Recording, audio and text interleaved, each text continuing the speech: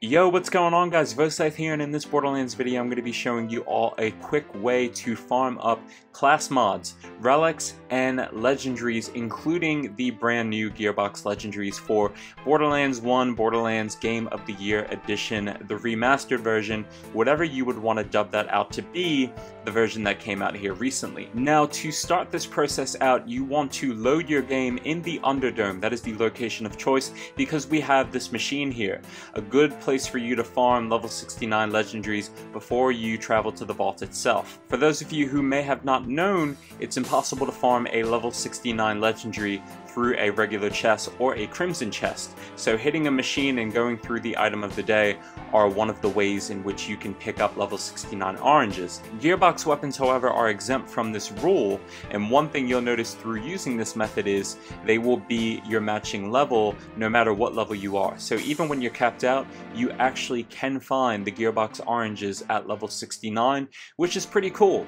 Another thing I noticed is when farming Crawmerax even when these weapons drop at their highest level which again is that cap off the stats, parts, and the quality of the gun are preset and they match the ones in this chest. So instead of farming Crawmerax, if you're looking to pick those up immediately, you can just come here and do so, which is really neat. Additionally, this is a great way to pick up some semi-decent class mods that you can use in post-game, and you'll be able to pick up those relics at the same time to cap off all your action skill elements. That's really important. I know one of my pet peeves is when I want to switch to an element and use an action skill, and I'm seeing that that that said element is not maxed out. It drives me insane. So all you need to do is just rinse and repeat this. The only thing you need to keep in mind is to obviously A, hit the machine in the Underdome. That's obviously one of the most important things because you never know when you're going to get something good or something awesome might just be sitting in the machine waiting to be purchased.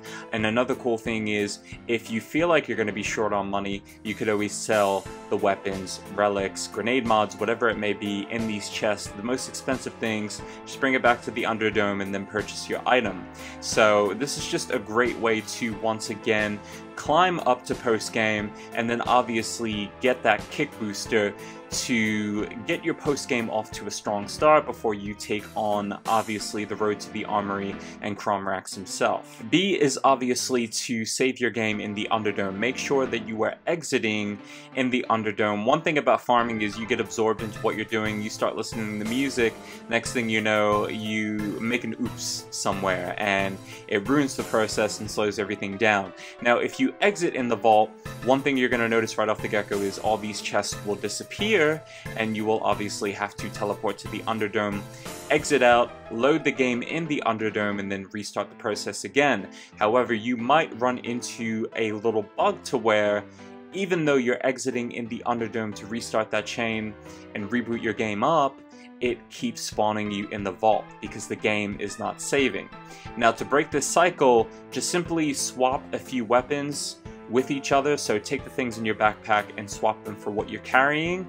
And that should prompt it to kick in a save because one thing about Borderlands 1 and that one thing that it was always lacking was a consistent and constant saving system. So sometimes you just need to give it that extra kick so that way you're spawning in the proper position. So if you run into that, that's the fix for you. But that is the gist of what you need to know.